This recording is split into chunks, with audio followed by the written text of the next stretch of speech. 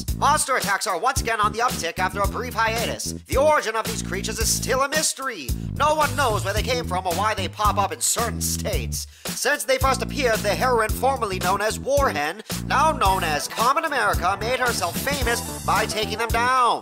Thus, fueling speculation that attacks are an elaborate hoax orchestrated by media relations agency Lansky and Schultz.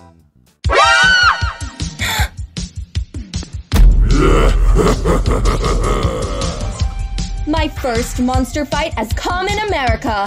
Time to transform and make my debut. Fateful Lightning!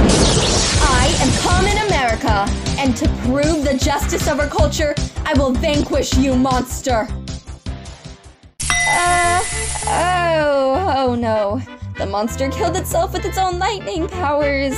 Ah.